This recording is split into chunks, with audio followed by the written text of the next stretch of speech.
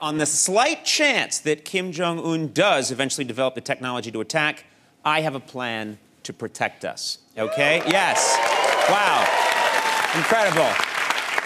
Thanks for assuming this is real. It is a.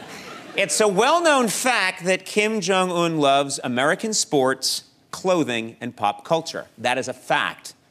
And it's his love of American culture that's going to save us with my plan. Let me explain. First, to defend California, I've taken Kim Jong un's friend Dennis Rodman hostage. I plan to use him as a human shield. In fact, we're moving Rodman to a different California city every hour.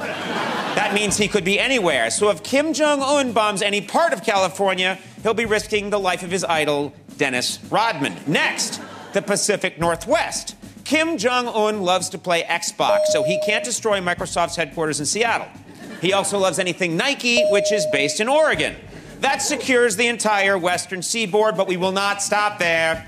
Kim Jong un also likes to get his hair cut at Supercuts, which has over 2,000 locations in the United States.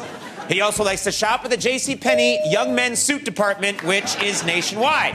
Finally, Kim Jong un is overweight and suffers from hypertension and diabetes, which means he probably loves to visit water parks, and we have a lot of water parks.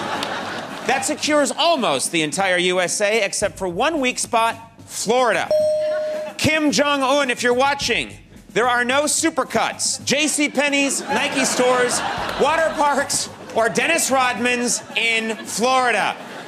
Florida? I'm sorry. What?